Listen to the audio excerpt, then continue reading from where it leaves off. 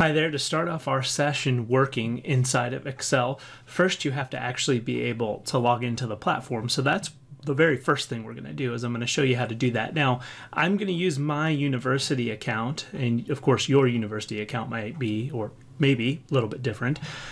To get in and get logged in, you're going to go to www.office.com, right? That's the site you're going to go to. And when you go to that site, you're going to click the sign in button at the top right.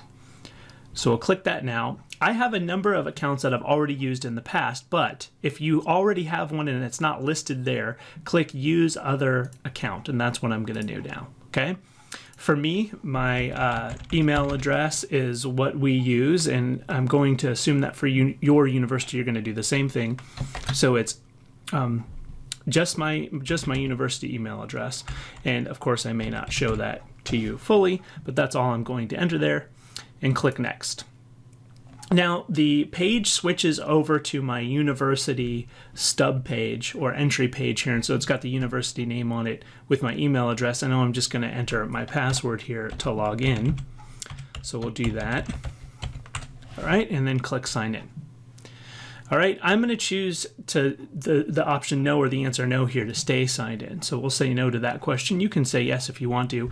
I switch back and forth between my work account, my personal account and my university account. So I don't want to stay signed in. I want to be able to log out at will. All right, now on the left side of your screen are going to be all of the apps that you have access to, and you'll notice there's Word, Excel, PowerPoint, Outlook, OneDrive, so on. For this particular playlist and this set of instructions and videos that we're going to do, we're sticking just with Excel. Now, before I go in there, I want to mention one thing. We're going to be using Excel on the web or Excel for uh, the Web 365. You can install, if your university lets you, the full version of Excel on your computer. And to do that, you're going to go over to this button here that says Install Office, click a down arrow, and say Office 365 Apps. All right, I'm actually going to do the second one, which is Other Install Options. And the reason I want to do that is because I want to show you the message that comes up will say you can install X number of PCs and, and Macs and X number of tablets and smartphones. So if you're using a Mac, for example, I happen to not be, I'm using a, a traditional um, Windows-based PC, but if you're using a Mac, uh, you can install and choose that version of Excel uh, to install. So you have at least my university is providing five licenses. I think that's the default, um, but you can you can install as many as, as they will let you. So if you don't want to use the web version, you're certainly welcome to use the desktop version. For these tutorials though, I'm going to be using the web version of Excel.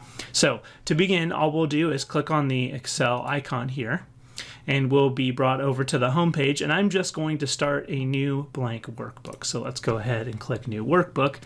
Excel will load into a web browser, a web page here, but it looks a lot like the traditional desktop version. Now there are features missing in this version that are not available in the desktop version and we'll get into that later. But for now, we're all set to begin with the first lesson, which is next up on our playlist.